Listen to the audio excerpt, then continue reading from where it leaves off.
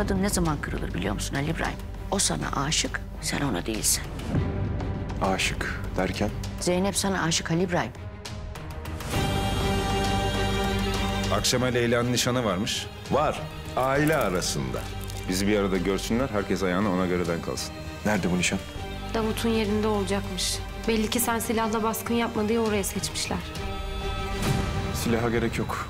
Ben karımı koluma takar giderim. Bu sabah evlendik. Resmi olarak eşiyim yani.